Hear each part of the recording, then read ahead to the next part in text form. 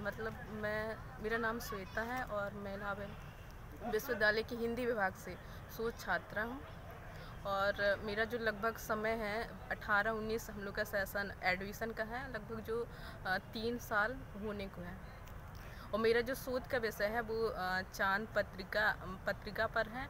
और मेरे जो अम, अ, और सूद मतलब जिनके अंडर में मैं कर रही हूँ उन सर का नाम प्रोफेसर प्रणय कृष्ण श्रीवास्तव है जो भारत सरकार की तरफ़ से दो साल के लिए ऑस्ट्रेलिया गए हुए हैं।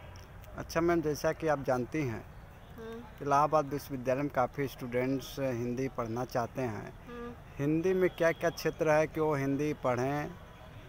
कि इसमें क्या क्या मतलब क्या क्या हो सकता है हिंदी डिपार्टमेंट से? अच्छा।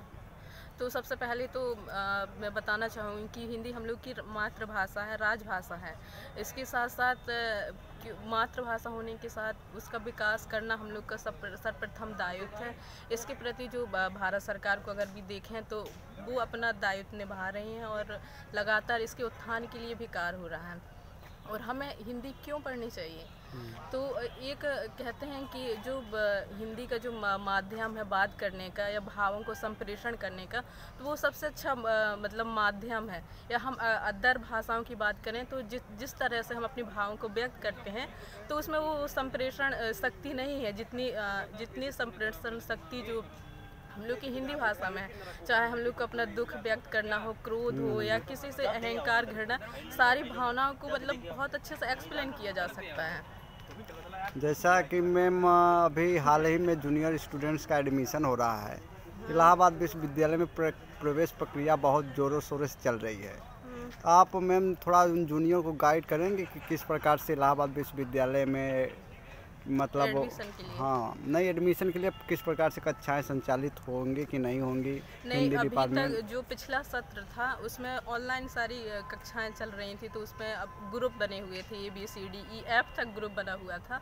तो उसमें अपना रजिस्ट्रेशन करवाना था लेकिन जो इस हम इस आगामी सत्र की बात करें तो इसमें सत्रह से ऑफलाइन क्लासेस हो गई हैं। तो उसमें जो नया एडमिशन होगा या इनरोलमेंट की हम बात करें तो वो सारी ऑफलाइन होंगी जैसे ही मतलब लगभग हम लोगों के अध्यापकों की बात करें तो छत्तीस से सैंतीस अध्यापक डिपार्टमेंट में मौजूद हैं तो उसी के आधार पर किनको किसकी क्लासेस मिल रही हैं? तो ये सारी चीज़ें मतलब उन्हीं के आधार पर उनका क्या सब्जेक्ट है मतलब उनकी रुचि किस पे है तो उसी के अकॉर्डिंग मतलब उनको क्लास अलॉट की जाएगी अच्छा मैम, यहाँ बताइए कि हिंदी क्षेत्र में क्या क्या मतलब वो कौन से स्टूडेंट्स पढ़े हैं?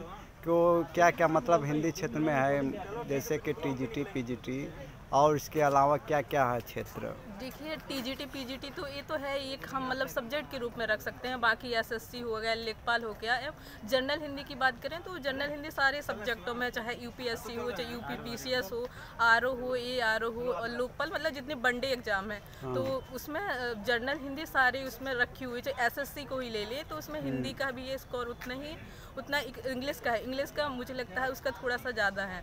लेकिन हिंदी का भी अपना ही उतना ही मतलब स्कोर है और इसको हम किसी तरह से ये नहीं कह सकते कि इसको हम छोड़ दें तो हम इससे आगे जा सकते हैं। जबकि मुझे लगता है कि अगर हम इसको ग्रामर की बात करें तो हिंदी, इंग्लिश अगर दोनों को कंपेयर करके पढ़ें तो ज़्यादा मज़ा आता है उसको पढ़ने में और समझने में। और एक तो हम मातृभाषा होने के होने के कारण हम बहुत अच्छे से उसको समझ लेते हैं कि अच्छा इसका ये मतलब होता है।